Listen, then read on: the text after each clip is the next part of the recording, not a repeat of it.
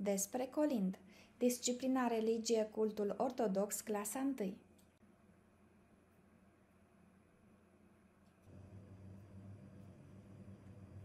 Cântecul Dragii mei, voi ați cântat vreodată? Dacă da, ce ați cântat? Hai, dați câteva exemple. Bravo! De ce ar cânta oamenii?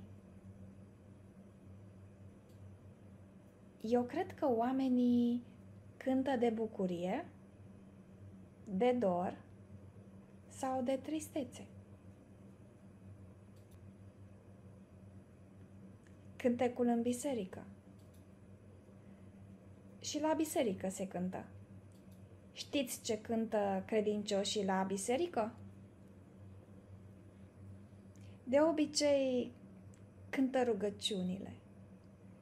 Dar uneori, unele cântece au scopul de a vesti ceva, de a anunța că s-a întâmplat ceva frumos.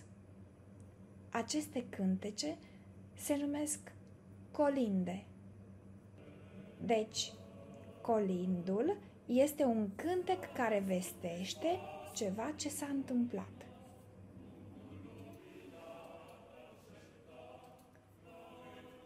Priviți această icoană. Ce credeți că reprezintă? Nașterea Domnului nostru Isus Hristos. Dar în partea de sus a icoanei, pe cine vedeți? Sunt îngerii. În partea dreaptă, un înger stă de vorbă cu cineva. Oare cu cine stă de vorbă? Cu un păstor. Și despre ce stau de vorbă. Îngerii spun păstorilor că s-a născut Domnul nostru Isus Hristos. Adică îngerii au colindat păstorii. Oare primul colind al îngerilor către păstori ce cuvinte avea? Iată care sunt aceste cuvinte.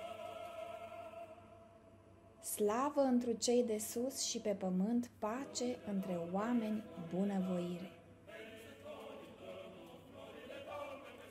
Cine colinda azi? A, deci știți cine. Să recapitulăm. Oamenii mari, adulți, bătrâni, tinerii, copiii, adică toată lumea. Să cântăm și noi un colind împreună. Oare despre ce să colindăm? Vom vesti despre cum s-a arătat steaua magilor, despre cum a născut Fecioara Maria pe pruncul Iisus, despre cum au plecat magii ca să-l găsească pe pruncul sfânt și i s-au închinat.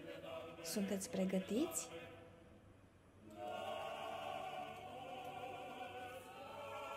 Eu voi cânta prima strofă, apoi veți cânta voi. Steaua sus rățare, ca o taină mare, Steaua strălucește și lumii vestește, și lumii vestește.